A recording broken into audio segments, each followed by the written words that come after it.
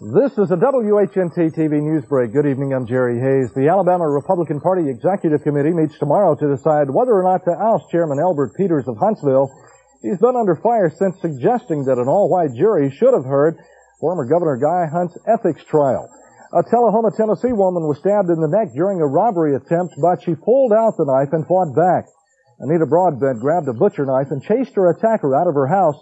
Police later arrested a Lynchburg man and charged him with attempted murder.